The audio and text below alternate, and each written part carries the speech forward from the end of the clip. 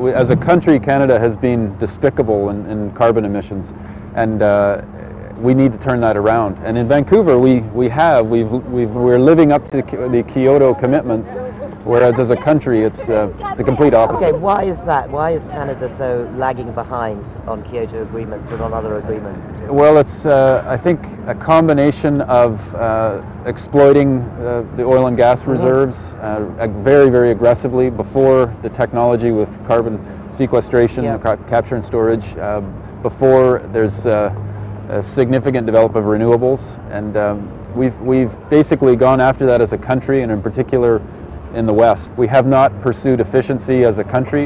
You know, it's a colder country, so it's tougher to, uh, to bring down the, the consumption of fossil fuels in particular to, to keep everyone warm.